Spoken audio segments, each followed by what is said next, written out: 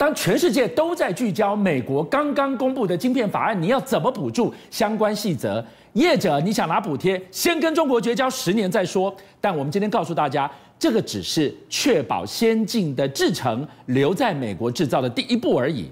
我们要告诉你，不戒掉中国，恐怕失血更严重。为什么？今天杰米为我们揭秘，原来拜登手上有这个绝密的超级血滴子。逆我者亡啊！没错，事实上，你知道美国贸易代表总署，我们在过去这二十年没有看过这么积极的。他去年六月份，因为台美二，我们说的台美世纪贸易二十一架二十一世纪架构跟台湾接触之后，他只花了多少时间呢？只花了五个月时间就把整个项目谈妥了，然后只花再花两个月时间，都已经超前谈到 T 法。天哪，不是台美这个贸易架构二十一世纪贸易架构吗？怎么突然谈到 T 法？而且你知道吗？这一次哦，这个美国贸易代表总署哦，他特别提出的所谓的成果报告呢，特别把台湾列入为所谓年度最具有成果的一个一个内容，包括了美猪啊，这个美牛进在台湾呐，台湾的贸易的优先呐，还有包括各样的法案，双方有高度共识。哎，我很少看到美国代表总署把台湾讲的如像如此的神。那最后你知道吗？他下了一个结论哦，他说结论是今年势必要跟台湾签下所谓的 BTA 双双边贸易谈判，他把列为是最优先代办。到底美国在急什么哈？那我们先怀一件事，事实上呢，早在今年的这个呃二二月八号，就是刚刚过完年之后呢，其实台湾跟美国呢就已经针对这个晶片部分呢有一个谈判，但是大家都没有太在意这个事情，为什么呢？因为就在前两天的时候。美国、日本、韩国跟台湾又这次谈一次了，但是聚焦的部分呢，其实谈的很单纯一件事情，这个是内容很精彩哦，包括要对于解决关键跟新兴技术、半导体的供应链的供应链的韧性，还有电池跟关键的产品，全都谈了。为什么呢？因为韩国在里面啊，因为我们知道电池韩国很强嘛，记忆体韩国很强嘛，还有这个所谓的这个。数据的透明度，因为韩国在中国有工厂嘛，所以这一次很明显谈判的过程当中，韩国在里面应该是如坐针毡。所以你点名的这四个国家，就是我们讲的 Chip Four，就是今天天下为中晶片大战最重要的四个核心国家，台湾也在里面。你刚提到韩国，我就问了，去年的 Chip Four 刚刚被丢出来的时候，韩国不是拜托拜登再给他一年的宽限期，我压太多钱，我压太多的半导体厂在西安，在大陆的。几个大臣，哎，你要我断根，怎么可能？一年时间也快到了，最后这个 deadline 之前，我们看到了什么血淋淋的事实？就是没有事实，美国没给答案。你看到这次四方围谈的时候，基本上就是韩国全部让步嘛，中国部分你不能再扩厂了嘛，哈，这些东西要全部处理哦。你要知道韩国现在状况有多严重。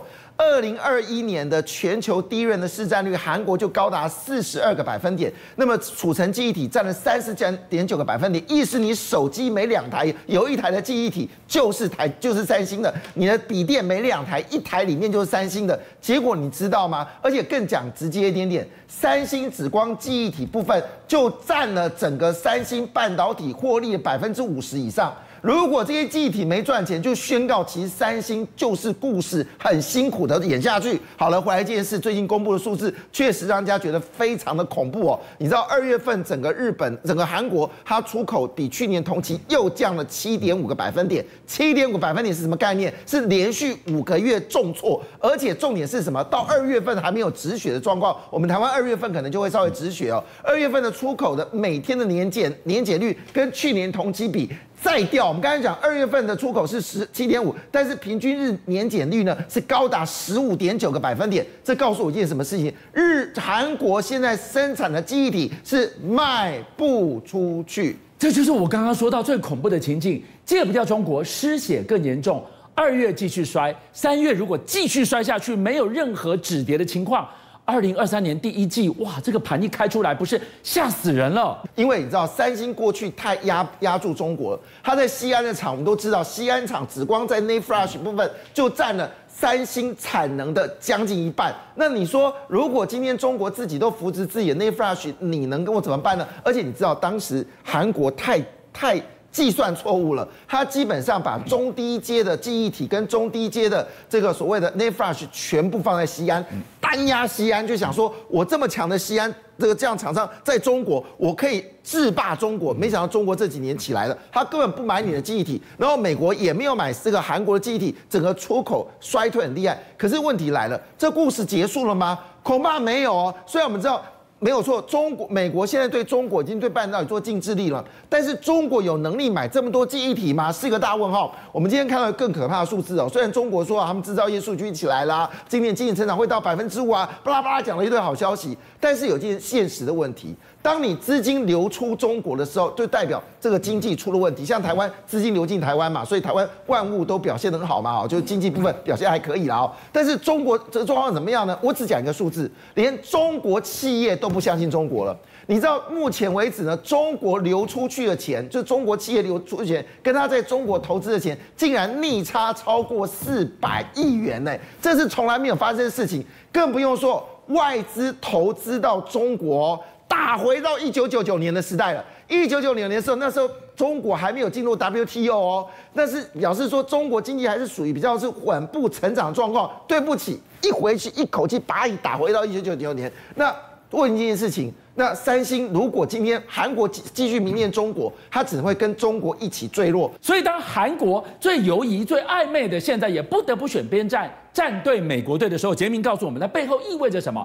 原来拜登手上有一个让韩国躲都躲不掉的超级血滴子，血滴子要杀向中国。你多好哦，不然连韩国都会一起被砍。没错，事实上我们都以为说哦，其实这次的所谓设备不卖就算嘛，那你至少维修旧的设备，你应该去维修嘛。是，因为你卖出去有这个原原则啊哈。就没想到呢，日本一个网站里面公布一个消息，让大家就非常震撼。它的极微网直接讲白了，这一次呢，在一月份一月底呢，日本、美国还有这个荷兰的合约里面的内容，不只是只有设备不卖到中国，还有什么呢？还有包括绝对限制中国派出人力资源，而且。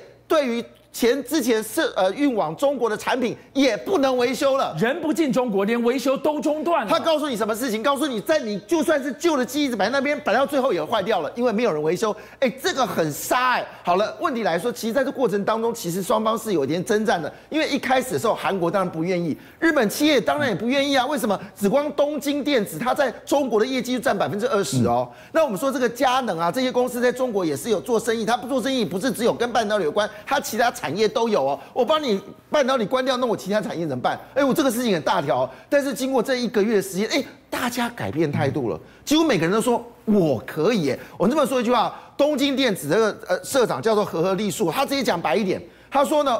你说这个 NVIDIA 多强，对不对？对不起哦，没有我东京电子哦，你别想生产任何尖端的半导体。为什么口气这么大？它有什么呢？好，我应该说这个我们说的光显影剂哦，就是我们说的极紫光机呢，它基本上是把你 IC 设计图呢打到你的晶片，对对？但是你晶片的时候过程要显影，然后你要清洗，你要切割，切完要清洗。那你知道那边极酸的东西要清洗，这些化这些化学品呢，谁都有，你知道吗？不论你说的所谓的成膜微影。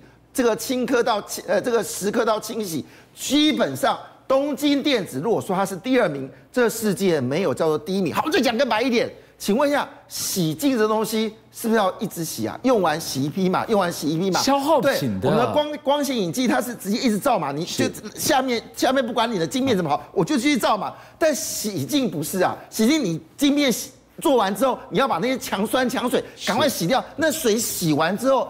那就没有啦。那这个时刻的机器也是会容易有这个零件的这个损耗，哎，那零件损耗你就不能补啦。所以问题来了，而且你知道重点在什么地方呢？东京电子很骄傲，我今天卡你中国是卡你现在哦，他还要卡中国未来，不但是现在要卡掉，东京电子怎么把未来也砍掉呢？他说。你现在所看到设备都是我三纳米的制程啊，将来还有二纳米啊，将来还有一纳米啊，将来还有超纳米啊。我的这些显影机会跟着这纳米继续这些产品继续前进啊。而且你知道东京电子多骄傲？他说呢，这个我当我的产品出去的时候，你用了这个呃我们说的 NVD 啊不是用那个的艾斯莫尔的东西对，加上我的设备之后，我会让你产品再增加好几个百分点。所以你想一个更极端的情况，今天如果我今天一滴显影剂我都不卖进中国的话，你不要讲二十八纳米，你连四十纳米你都做不出来耶。没错，那中国就要想办法找出这些东西。事实上，中国技术只有在四十纳米，可是问题是你很多产品都需要二十八纳米啊。我都会讲很直接的问题，因为这是个很严肃的话题哦。什么话题呢？就是将来所有自驾的这些 MCU 里面都要用到二十八纳米技术，而这是纳米在熊本就有了。好，我们谈这件事情是一个大事情。之前。呃，台积电去日本的时候，我们都怀疑去日本干嘛？日本也不生产什么半导体啊。哎，去没想到呢，哇，他得到了索尼跟这些公司的帮忙，立刻盖了工厂，而且呢，盖的速度很快，而且他讲一句话说，哎，在日本盖工厂成本竟然跟台湾是差不多的哦，而且他们很有效率。我以为就到这边结束，没有。最近熊本把公共预算弄出来的时候，才知道日本是玩真的。日本的熊本县公共预算，公共预算就是水啊、电啊这些所谓的公共建设嘛，竟然再创历史新高，没有再给你什么三缺、五缺、七缺的，要水给水，要电给电。我就问了，今天台积电是客户在哪里，我就到哪里。美国如此，日本也如此。我们经常看到今天他如何的贴近他的客户，帮他的客户扮演超级加速器。你想看台这个？日本政府怎么说服台积电要设四纳米？因为你四纳米在哪什么地方你用不到啊？现在答案揭晓了，这是令人恐怖的事情。原来台积电有另外一个战略伙伴叫 NVIDIA，NVIDIA 决定要把他们最新的送的这个所谓的中央处理器、汽车的自动驾驶处理器呢，决定要要熊本来生产。意思说，你四纳米生成的时候，我就把这最精锐的这个晶片全部在生产。那配合厂商是谁？天呐！日本所有包括 Toyota、Honda、Suzuki、马自达，全部都要配合。意思说呢，今天那我在讲说，这个所谓的 NVIDIA 最新的这个所谓的中央处理器到底有多强啊？讲白了，就是你现在台面上路上跑的那些车子有自动驾驶，有没有？它的技它的速率呢，都比他们最路上看到至少六到八倍的高速运转。那我说最近这个特斯拉不是很骄傲吗？它不是有个 fully 呃 fully self drive 吗？对不起啊，一碰到这 slow，故事叫做 gain。Slow 就是你基本上就是整个就是慢半拍，所以这个情况下，台积电跟日本这次合作，恐怕在未来自驾车里面要再创造一个叫做台日奇迹。邀请您一起加入五七报新闻会员，跟俊相一起挖真相。